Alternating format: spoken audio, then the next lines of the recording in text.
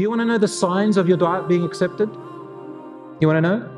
I'll give you six. Number one, you find yourself after you make your dua, you might have one of these or all of them or some of them. Any one of them, even if you have one, that's a sign, inshallah, of acceptance of your dua according to the scholars. Number one, uncontrollable tears and crying. You find yourself burst into tears. That's inshallah a sign of your dua accepted. Number two, you make dua and suddenly you get goosebumps. Because Allah mentions it in the Quran. When you hear Allah's words and you call upon Allah, you feel goosebumps. Number three, feeling of awe and inspiration. After you feel inspired, something's happening. I'm feeling guided. Number four, feeling of peace and calmness after you had fear and worry. Like being showered or bathed or like a therapeutic massage, you know, you feel like that. Number five, light-weighted, lightweight, as if something was on your shoulders and it was taken off.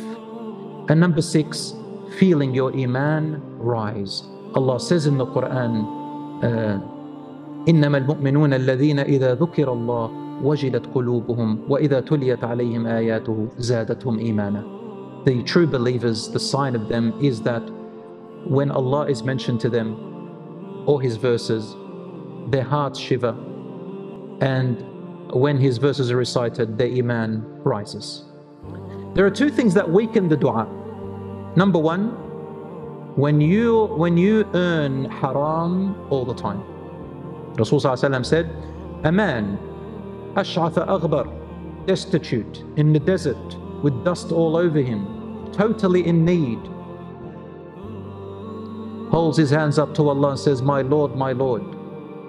But his food is from haram, his clothing is from haram, and he has been nourished all his life with haram. فَأَنَّ يُسْتَجَابُ لَهُ How is this person going to be responded to? So this weakens the level and the degree of your dua. So monitor your earnings, brothers and sisters.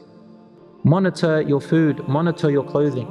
If there's too much haram, you've got to do something about it. Otherwise, it could stand in the way of your dua or it weakens it. And number two, rushing the dua. Rushing, you want it, you give up, you despair, you want it a particular way, uh, you want to just do it quickly, these weaken your dua.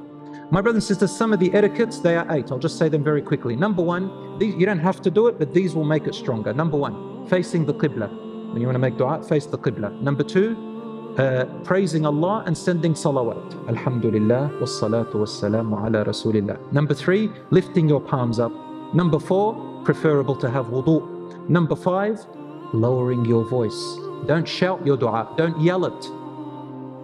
Number six, humility while you're calling to Allah. Number seven, thinking well of Allah. Number eight, certainty that He will respond in the best way for you. These are eight etiquettes of how to call upon Allah subhanahu wa ta'ala.